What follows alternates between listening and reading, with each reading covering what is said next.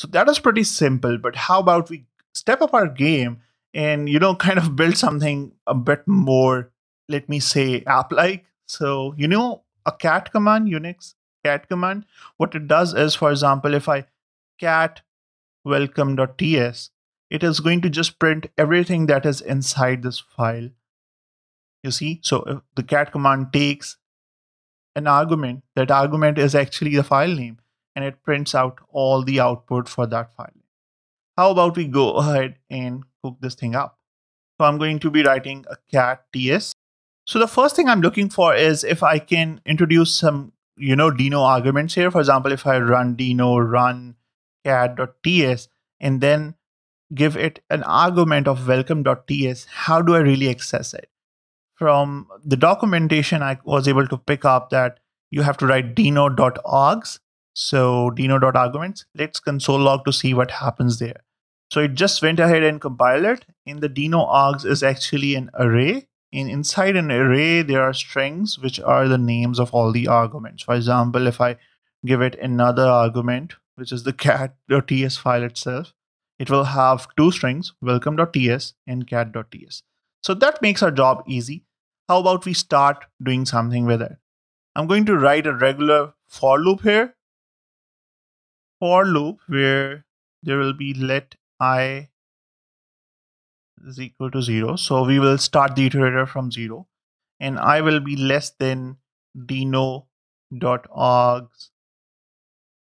dot length and just iterate over this particular thing. For example, what we are doing is we are taking in the array length, which is going to be whatever you the number of uh, you know arguments you send to this program, and this for loop is going to iterate over that number of arguments only that number of time. For example, if there are two arguments, this loop is going to run twice. So now we know that there's a file name as a string this is actually the file name. And now I'm going to define a file. I'm going to await and use a function called deno.open that particular file name. So here I'm using deno.open to open this particular file and I'm kind of saving it as a reference in the file variable. Did you notice I'm using await and there is like no async function here? This is because Deno is capable of using await as a top level await API. You don't really have to define an async function to use await in Deno, which is excellent. You know, it is like a top, new top level API in the, you know, modern JavaScript and Deno is making use of it. So now that we have our file, what we need to do is we need to copy this file to our standard output, just like a cat does. So I'm going to await deno copy and the source will be the file and the output will be on deno standard out.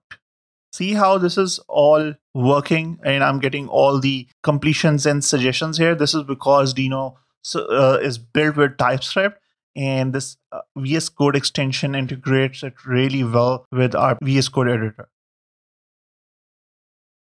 So there you go.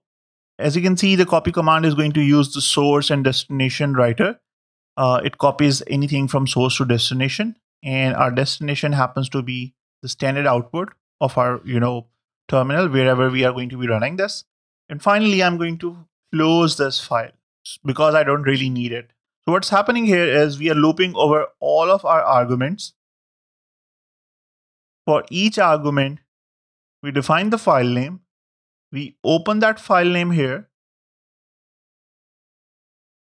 call it file, and then we use this as a source to output all of the contents of this file, and then go ahead and close the stream. So how about we go ahead and run deno run cat.ts, which is actually this particular file, and I'm sending it the argument of welcome.ts. Uh-oh, looks like we have an error. So what happened is it compiled successfully, but there is an uncaught permission denied. So the read access to welcome.ts is denied because it is asking us to actually explicitly define the allowed read flag so it can read this particular file. And I'm going to just go ahead and do that. This is actually where Node.js and Deno are different.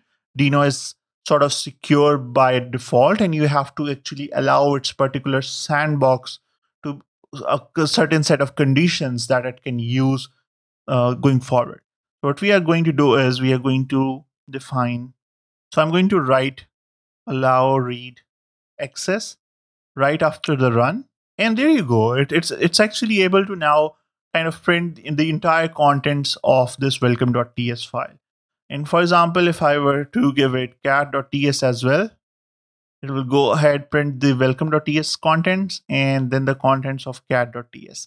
So that is working really good.